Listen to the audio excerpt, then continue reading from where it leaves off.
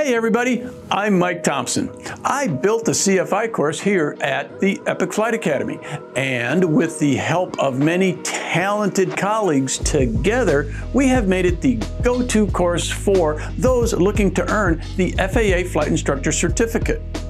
In addition to teaching this course, I wrote the book, Telling is Not Teaching, the Flight Instructor's Handbook.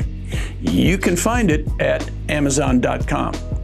The book is built around the idea that effective flight instruction is based on a solid relationship between the instructor and the student. Now, if you think about it, effective teaching of any kind in any subject relies upon a good relationship between the teacher and the student. Telling is Not Teaching was designed to parallel the FAA's Aviation Instructor Handbook 8083-9A. In the Aviation Instructor Handbook 9A and in my book, the first three chapters discuss educational psychology, the next three discuss instructional design, and the final three chapters address the flight instructor profession and responsibilities in general. In later versions of the FAA's handbook, you may notice the chapter numbers change. However, the chapter content should remain essentially the same. Join me as I discuss each of the nine chapters. I hope you find the book enlightening, and I sincerely hope it helps you develop as a teacher. Today, I'd like to introduce you to Chapter 5 in Telling is Not Teaching. Our goal in aviation training is, of course, safety and competence. But too often we as teachers think of assessment as simply something that is done at the end of a lesson. To approach assessment effectively, it is much more than that. It is an integral part of the teaching and learning process.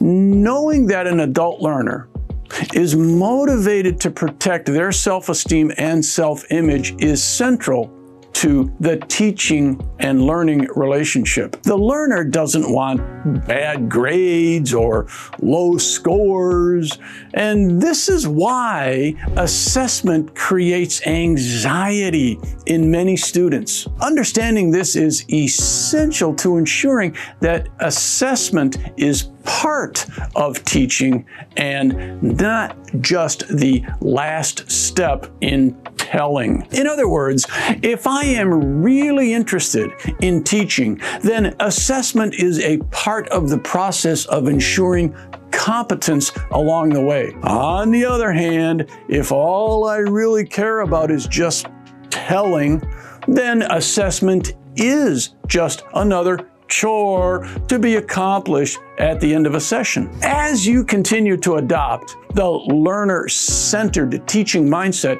and leave the telling mindset behind, then assessment loses much of its anxiety that's associated with it. Why? Because for the learner, it becomes part of the process rather than an obstacle at the end. If assessment is just regurgitation as proof of remembering the telling of information, then mm, no wonder there's a lot of anxiousness connected to it. To aid us in having clear discussions about assessment, it is critical that we can communicate clearly, and to do so, we need to define some terms. What is grading? Is it really different than testing? And is that really not the same as a quiz? Are assessment and evaluation the same thing or not? Is there an important difference between these two? Yes, there is. Join me in Telling is Not Teaching and dig into Chapter 5 to clarify these distinctions and nail down some clear definitions. Have you ever heard of criteria associated with a competency? What's the difference between criterion reference and normative reference in grading? These are important questions for CFIs, and understanding the differences will take you further down the path of your professional development as a flight instructor and beyond just the chapter on assessment in the Aviation Instructor Handbook by the FAA. How about we just forget the grade completely? When the mutual goal of the teacher and the learner is to truly and deeply understand the content, whatever it is, then together you reach a level of mutual effort that truly surpasses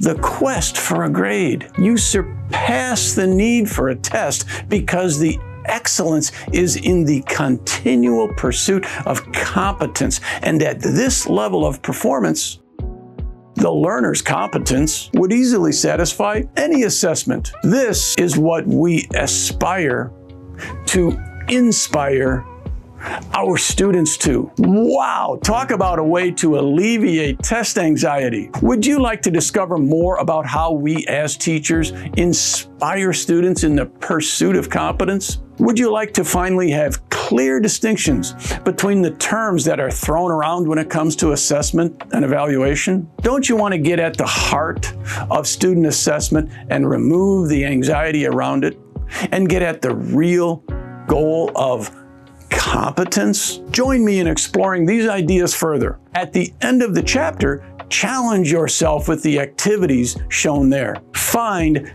Telling is Not Teaching at Amazon.com.